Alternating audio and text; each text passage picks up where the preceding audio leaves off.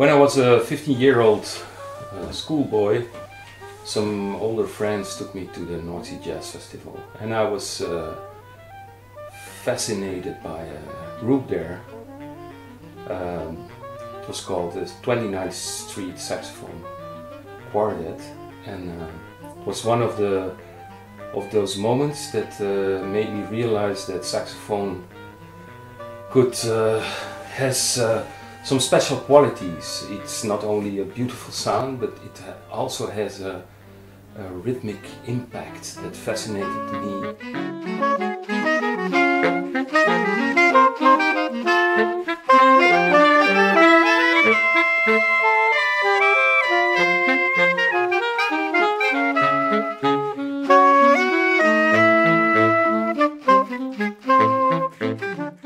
In that library, I also encountered some music that I wouldn't have listened to by myself, but uh, there was some. There were uh, uh, colleagues there that uh, managed the classical collection, and by them I uh, encountered the string quartets of Bela Bartok.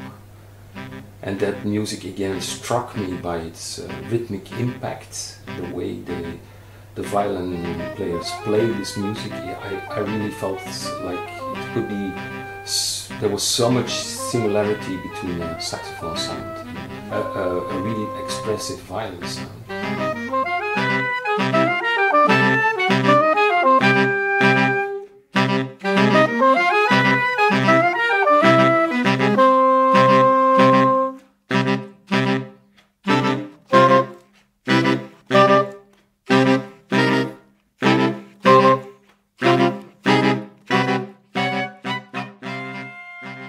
When I studied in Rotterdam at the conservatory, I met a very nice uh, young musician composer, Oene van Geel, a violin player, who um, had his own string quartet, and they didn't play the usual uh, string quartet stuff. They had a whole repertoire of their own music, and um, rhythm was a very important component.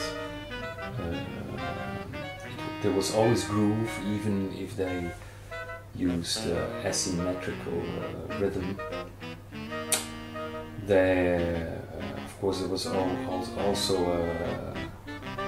harmonic richness. But the, thing that struck me most was was the fact that they played the rhythm so well without the help of a rhythm section, and that was something that I aspired with a saxophone quartet. Mm-hmm. Mm-hmm.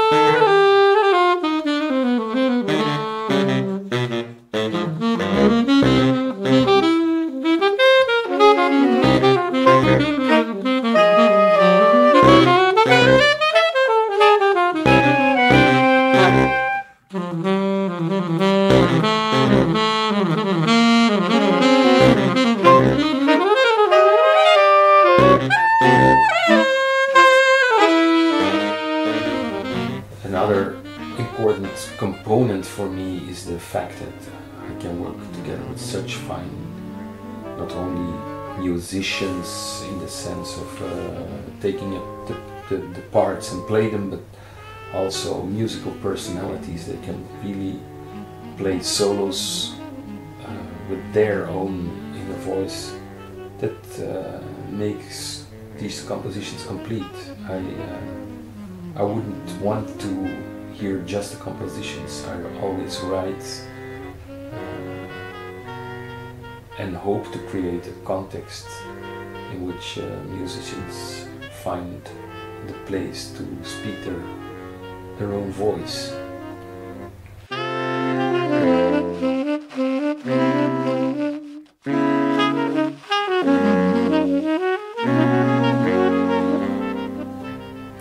I love composing and especially for this uh, for this group. Uh, the name of the album, The Chromatic Gardener. You sow, but you never know what you what will come out of the ground. But now, finally, we there's some there's some stuff that came out of the ground. Some nice fruits, and vegetables, and colors.